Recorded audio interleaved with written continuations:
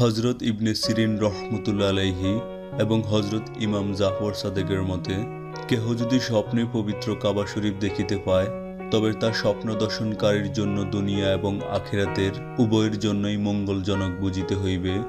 কেহ স্বপ্নে কাবা শরীফ তাওয়াফ করিতে দেখিলে, তবে যে স্বপ্ন দেখিয়াছে, তাহার বহুদিনের ইচ্ছা বা মনোরথ হইবার নিশানা।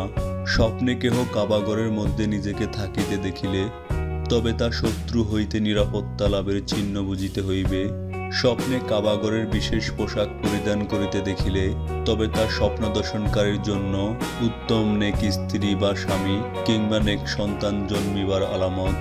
স্বপ্নে কেহ কাবাগরের অসম্মান দেখিলে, তবে তা ধর্মচ্যুতি কিংবা পাপিষ্ট হইবার আলামত। এছাড়াও অন্যান্য ব্যাখ্যাকারের মতে স্বপ্নে কেহ কাবাগরে পবিত্র কোরআন পাঠ করিতে দেখিলে স্মৃতিশক্তি বৃদ্ধি এবং আল্লাহর দিনী পথে মনোনিবেশ করিবার আলামত কিংবা হালাল পথে রুজি রোজগার করিবার লক্ষণ স্বপ্নে কাবা শরীফে নামাজরত অবস্থায় নিজেকে দেখিলে তবে তাহার গুণা মাফ হইবার নিদর্শন এবং দোজাহানের সৌভাগ্যের লক্ষণ বুঝিবে।